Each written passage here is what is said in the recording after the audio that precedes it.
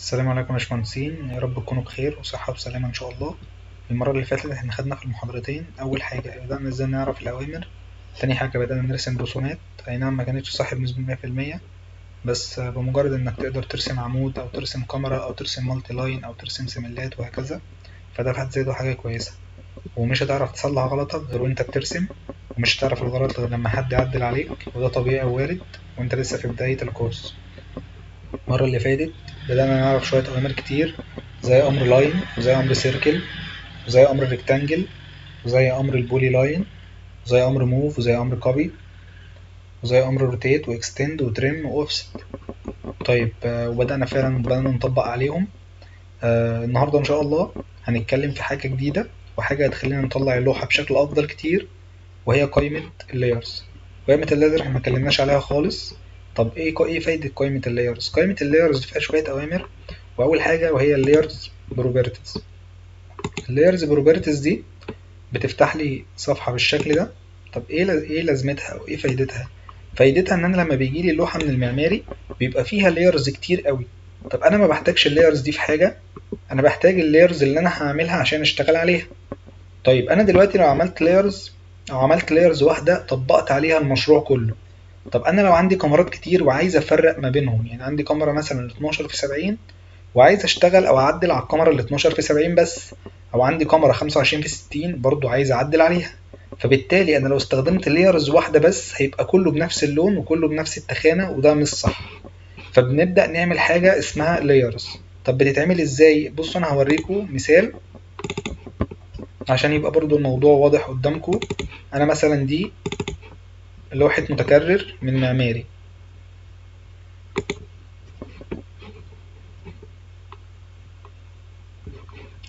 لوحة المتكرر دي لو جيتوا بصيتوا هتلاقوها في layers كتير جدا.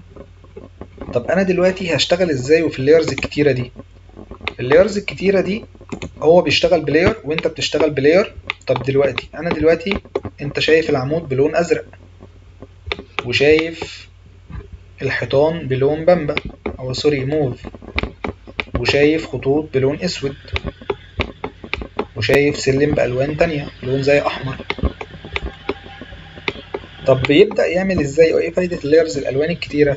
بيخليني أقدر أفرق بحيث مثلا لو أنا دلوقتي عايز أعدل على الأعمدة بس فبعمل مثلا مثلا isolate أمر isolate أمر مهم هستخدمه. بعمل isolate على العمود. وببدأ أدوس enter أو مسطرة sorry ظهر على hatch طيب آه دلوقتي أنا حددت على hatch وظهر على ال hatch. هرجع تاني. اظبط التخانة. أنا شايف العمود تخانته أكبر من تخانة الحيطة. فال layers مهمة جدا في استخدامك للنقط دي. طب أنا دلوقتي لو عايز أطلع لوحة زي دي باحترافية إن أنا أعمل العمود بسمكته تكون أعلى من سماكة الحيطة يكون ال thickness بتاعه عالي. طيب دلوقتي عندي حاجة تانية زي إن أنا مثلا هبدأ أمشي كمرات كده. طيب هوريكم لوحة فيها كمرات برضو.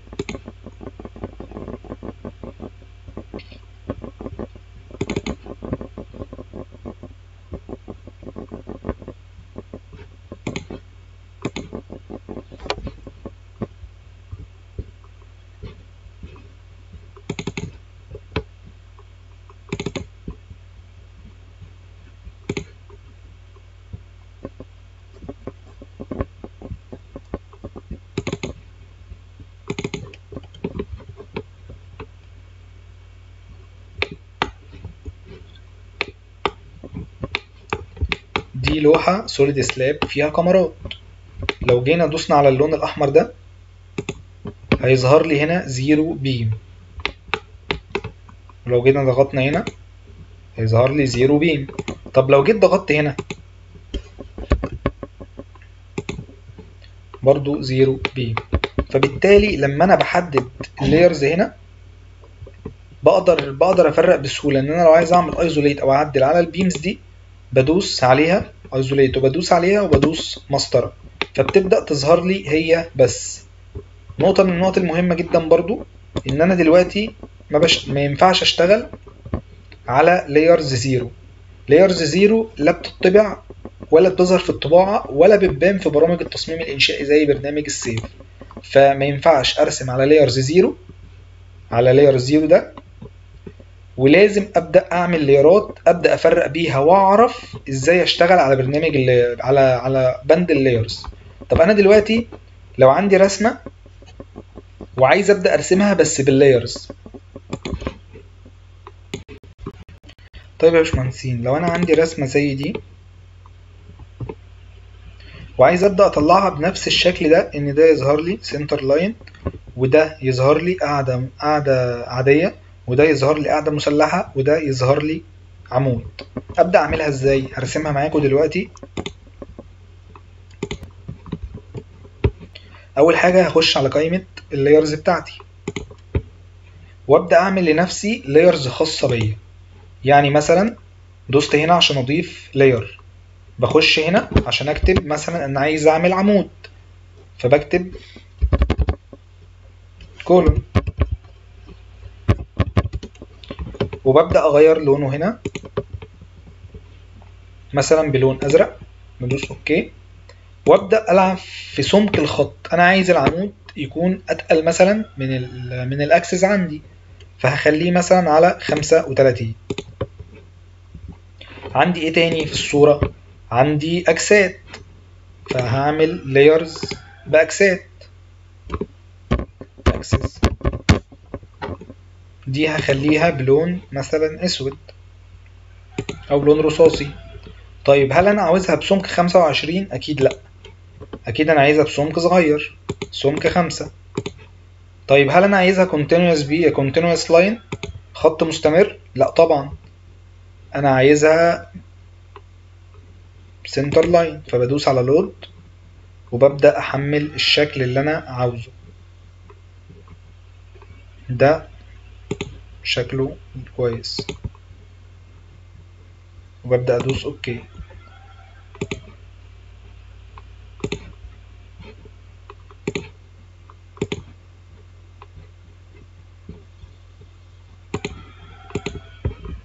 فظهر لي هنا بقى center line طب أنا عندي إيه تاني؟ كده أنا عندي axis وعندي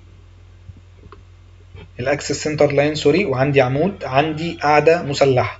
القاعدة المسلحة اختصارها أو معظم الإنشائيين يعني بيستخدموها وهي RPC. ودي بتبقى مثلا أي لون بقى أنت عندك دي ليك حرية الاختيار فيها مثلا أحمر. طب أنت عايز القاعدة المسلحة بسمك خمسة؟ لا طبعا أنا عايزها يعني سمك مثلا 30 طيب عندي إيه تاني؟ عندي قاعدة عادية. القاعدة العادية. ال بي سي بختار اللون أي لون مثلا؟ أصفر. بختار ال font مثلا هيبقى خمسة وتلاتين. طيب أنا عندي هنا في حاجة أنا نسيت أعملها وهي الخطوط. هو بيثبت على آخر خط أنت كنت مستخدمه. فأنا طبعا مش عايز center line أنا عاوز continuous عادي. وهنا continuous عادي.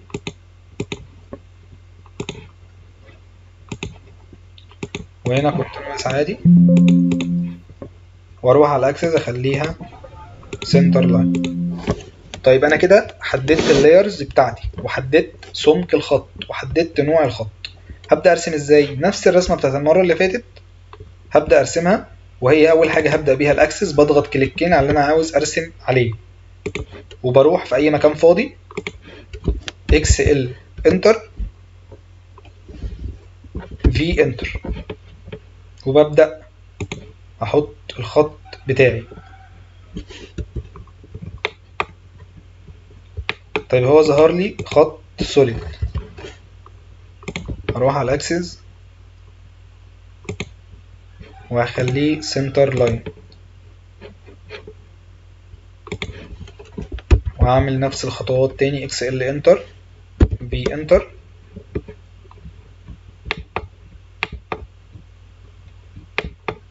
ظهر لي center line طيب عايز آخد ده على بعد قد إيه؟ على بعد عشرة. هاخد ده اوفست حدد ال distance عشرة Enter وبحددها كده. بعد كده باخد ده وأحدده كده. كده أنا عملت الاكس الاكس ال خطوط الاكسس عندي في محور Y عايز أعملها في محور X برضو نفس الخطوط XL Enter H Enter. حددت كده. نروح بقى كده. على مسافة سبعة ونص متر. ناخد دي. اوفست مسافة سبعة ونص. مديني طبعا سماحية إن أنا أروح بيها كده أو كده كده أو كده. طبعا كده. وهاخد دي وهديها كده. كده أنا عملت الأكسات. لسه ناقص axis. فكده أنا خلصت ال axes عندي. center line ما عنديش فيه مشاكل. نروح على الخطوة التانية وهي إن أنا أرسم sorry أبدأ أرسم القاعدة هرسم ال columns وبعد كده القاعدة المسلحة وبعد كده القاعدة العادية. نروح للأبعاد هي نفس أبعاد المرة اللي فاتت 40 في 40 ال column. REC أنا كده بدوس في مكان فاضي. طيب في حاجة أنا نسيتها وهي إن أنا نسيت أغير ال layers طب لو أنا نسيت أغير ال layers هنا وأنا شغال عادي ممكن أو عادي شغال REC وبدوس في مكان فاضي. sorry Shift اتنين اهو point أربعة و point أربعة. وهو الخط اترسم لي اهو. طيب دلوقتي أنا لو عايز اغير ال layers بتاعته هي ظاهرة ب axes وأنا عايز اغيرها. عادي بحدد عليه وأروح كده واحدد ان أنا عاوز ده columns وهنا الابلكيشن ده أو الخاصية دي دي اللي بتحدد منها سمك الخط. يعني أنا لو حددت كده ورحت كده الخط راح ما بقاش فيه سماكة. طب أنا لو حددته الخط بيظهر. طب أنا دلوقتي حددت العمود عايز أحدد إن العمود بقى القاعده المسلحة. القاعده المسلحة برضو كانت نفس المرة اللي فاتت اتنين الاتنين من الأربعة واحد وستة. طب الواحد وستة يبقى تمانية من عشرة أوفست لبره. أوفست تمانية من عشرة أحدد ال object وأطلع بيه لبره. طب أنا دلوقتي عايز أغير ال layers بتاعته. هقوم واخدها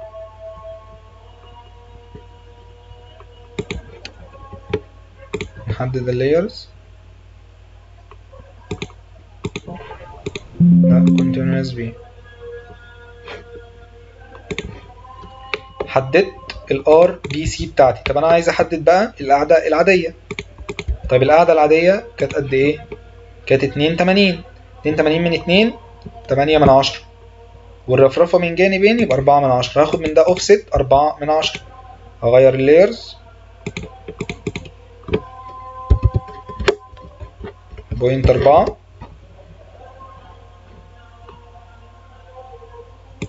واخده كده طب أنا دلوقتي محتاج أغير ال layers دي. هيبقى ال PC. طب أنا دلوقتي رسمت رسمت العمود عندي. هاخده كده. CO.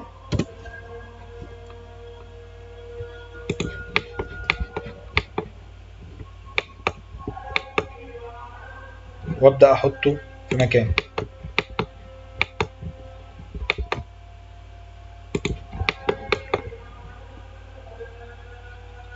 طبعا انجازا للوقت. هاخد دول مع بعض. واخدهم copy CO Enter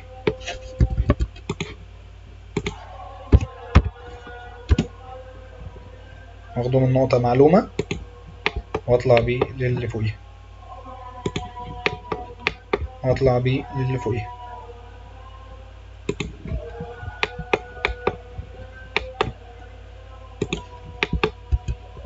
فبالتالي طلعنا لوحة أفضل بكتير واستخدمنا ال layers بتاعتنا بحيث لو إحنا عايزين نعدل على أي حاجة نقدر نعدل عليها. وكمان بتظهر في كمان بالنسبة لي هتبقى ظاهرة لي في الطباعة. يعني أنا لو أنا طبعا ما وريتكوش إزاي تطبعوا بس أنا هقول لكم دلوقتي. قدامنا اختيارين يا إما أدوس Control P بيظهر لي بالشكل ده بيبقى هدوس على continue to plot of single sheet وهختار من هنا. أنا طبعا هبقى عايز أطبع PDF هختار من دي دبليو جي تو بي دي اف وبعد كده هختار هنا. دي مقاسات اللوحة بتاعتي. طبعا هتكلم معاكم بالتفصيل في محاضرة الطباعة الخاصة بالطباعة فقط. طب أنا دلوقتي محتاج أطبع بس. خلاص هروح على display دي. وهختار window ومن ال window هختار كده. وهدوس center of plot عشان يوصل لي اللوحة. وهدوس preview ظهرت لي بالشكل ده بس طبعا أنا مش هطبع ألوان.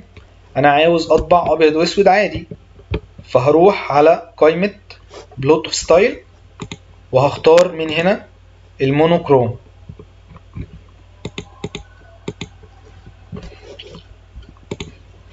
OK. بعد كده بدوس preview بالتالي ظهرت لي أبيض وأسود. بس التخانات مش عجباني. طب إزاي أظبط التخانات؟ يعني أنا هنا ظاهر لي إن العمود نفس تخانة القاعدة المسلحة نفس العادية. طب أنا دلوقتي محتاج إن أنا ألعب في التخانات شوية. طيب لو أنا دلوقتي فتحت ال AutoCAD كده طبعا هرجع. في خاصية هنا اسمها plot style table دي اخترت منها monochrome شايفين القائمة اللي جنبها دي؟ القائمة دي مهمة جدا. ليه بقى؟ لأن أنا من هنا بلعب من هنا في التخانات. التخانة اللي أنا عاوز احطها أنا عارف إن العمود مثلا لونه أزرق. بختار اللون الأزرق وببدأ ألعب في التخانة من هنا. فبالتالي هتظهر لي في الطباعة بنفس التخانة اللي أنا عاوزها. عشان كده ال layer مهمة جدا. ولازم تبدأ ترسم ب layer يعني لازم مليون في المية في شغلك بعد كده. أي شغل هتعمله تبدأ ترسم في layer طب أنا دلوقتي هدخل أخلي اللون ده أزرق. وشايفين ال line weight أبدأ أخليه سمكه خمسة مثلا وأربعين. وأدوس save وأدوس okay window أحدد.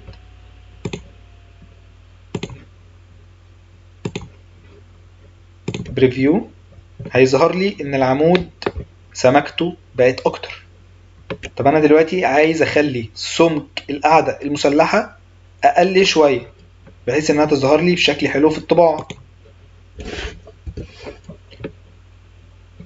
هروح هنا وأنا عارف إن القاعدة المسلحة لونها أحمر. هروح على ال line weight وهخليها مثلا خمسة وعشرين. دوس save preview طبعا الحاجات دي أنا هقولها بالتفصيل. فبالتالي العمود هنا القاعدة المسلحة بقى سمكها أقل من سمك العمود وسمكها أقل من سمك القاعدة العادية. طبعا أنا بعد كده هوريكم إزاي المقاسات مظبوطة بحيث إن اللوحة تطلع بطريقة احترافية كبيرة. فبالتالي أنا رسمت الرسمة دي ب layers ورسمتها مظبوط زي ما كانت قدامي في الصورة.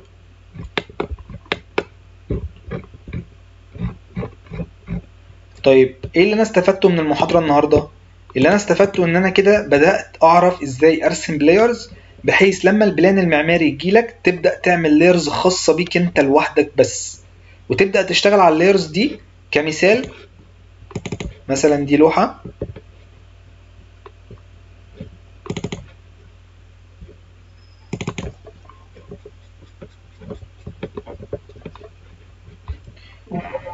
زي ما أنتم شايفين دي لوحة محاور وأعمدة.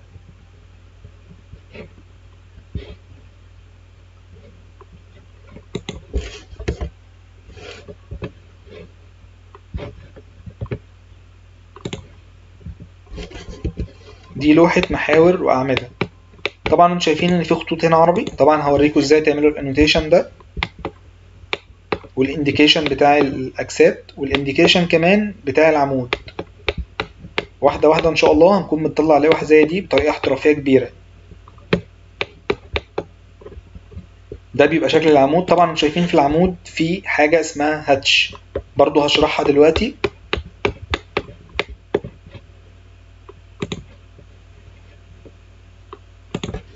فبالتالي إحنا خلصنا أول جزء وهو إنك إزاي ترسم لوحة قواعد وأعمدة بطريقة بسيطة وباستخدام ال layers وإن ال layers يطلع شكلها كويس. عايز أوريكم برضو لوحة مع لوحة قواعد أهي.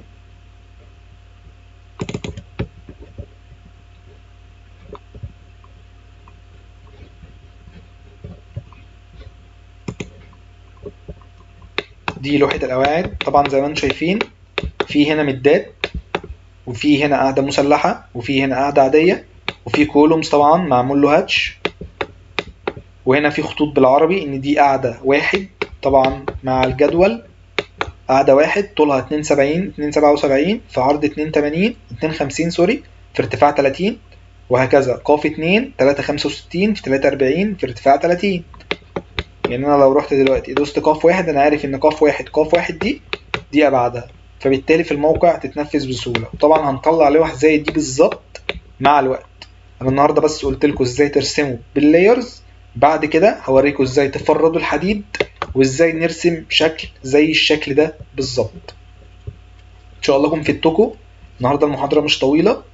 من بعد كده المحاضرة هتبقى طويلة شوية بحيث إن إحنا نطلع لوحة أكتر ويبقى فيها شغل أكتر وفيها كمان احترافية أعلى. إن شاء الله أكون bye bye